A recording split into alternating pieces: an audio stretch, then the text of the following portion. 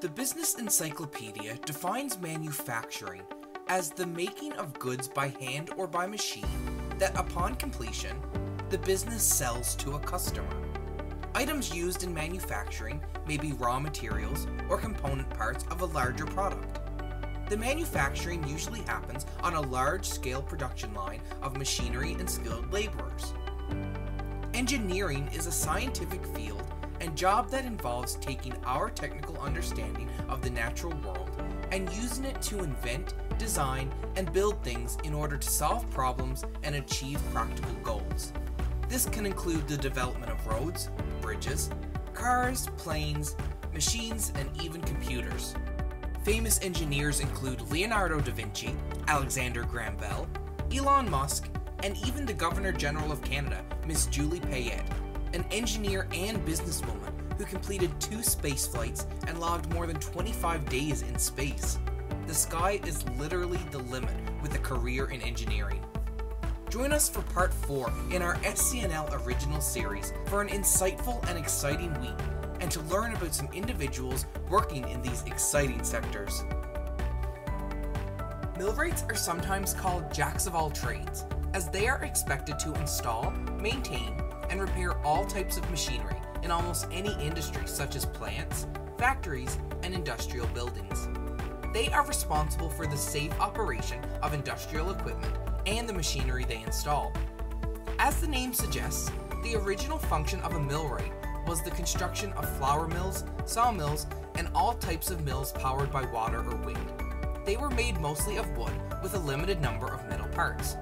Since the use of these structures originate in antiquity, millwrighting could arguably be considered one of the oldest engineering trades and the forerunner of modern mechanical engineering. Mechatronics is considered simply a hybrid of mechanical, electrical, and computer engineering, combining the technologies of mechanics, pneumatics, hydraulics, electronics, information processing, basic electricity, and motor and motion control. Mechatronics workers must have a broad knowledge base in these areas, and a large portion of their time could be spent fault finding, troubleshooting, and looking for hardware problems, as well as searching for ways to improve different aspects of the control project, possibly including efficiency or safety issues. A robotics engineer is a designer who is responsible for creating robots and robotic systems that can perform duties that humans are either unable or prefer not to do. The goal is to build robots that are productive and safe to operate, as well as economical to purchase and maintain. Due to improvements in computers and the increasing use of robots, companies must now be able to access and apply these emerging technologies in the design and manufacture of products in order to remain competitive. Robotics engineers' duties can include many things from testing and building robots, designing software systems, to analyzing prototypes and robotic systems that they have created. The job of a precision machinist combines mental ability with manual skills using many machine tools, such as lathes, milling machines, grinders, and drill presses, in order to produce metal parts that meet precision specifications.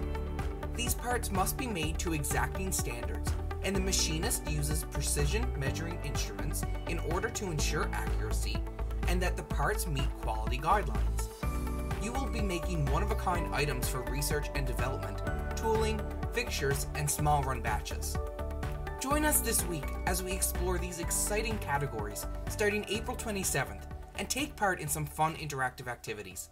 We hope you can join us!